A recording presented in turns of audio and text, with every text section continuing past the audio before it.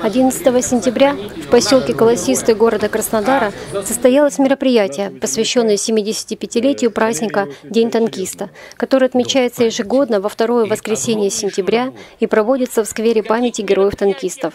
В мероприятии приняли участие представители администрации Краснодарского края и города Краснодара, общественных организаций, герои Советского Союза и России, студенты и школьники. От Екатеринодарской епархии мероприятие посетил руководитель епархиального отдела религиозного образования протерей Александр Игнатов.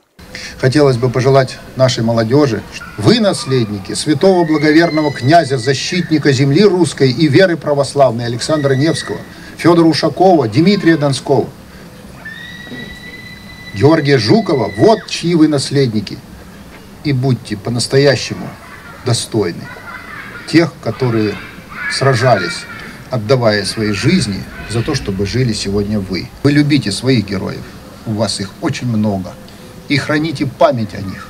И защищайте эту память о Родине, если понадобится, и ценою собственной жизни. Вот тогда и вы будете достойными сынами и наследниками своего великого, святого, русского православного Отечества. Основным событием мероприятия стало открытие бюста Героя России гвардии старшего лейтенанта Валерия Очеретного. Участники мероприятия почтили память героя минутой молчания и возложили венки и цветы к монументу.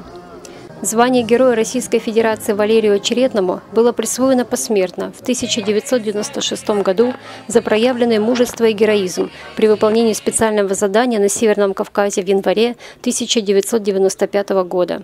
Сквер памяти героев-танкистов был открыт в 1978 году. Здесь захоронены 18 танкистов, погибшие при освобождении Краснодара в годы Великой Отечественной войны, и здесь бюсты героев современной России, чьи имена также вписаны в историю, чей подвиг служит ярким примером героизма, мужества и беззаветной преданности своему Отечеству. Как важно не забывать живой подвиг героев и стараться воспитывать жертвенную любовь к своей родине в подрастающем поколении.